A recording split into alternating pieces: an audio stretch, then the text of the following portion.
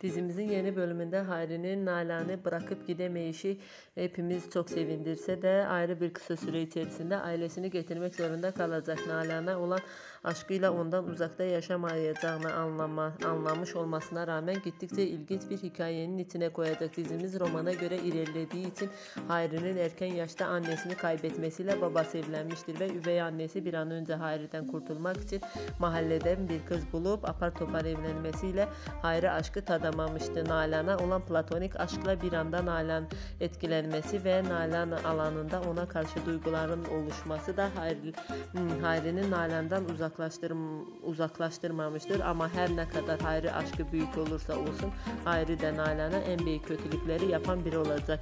Bakalım yeni bölümde birlikte bizleri daha fazla neler beklemekte videomuzu beğendiyseniz beğenmeyi ve kanalımıza abone olmayı unutmayın.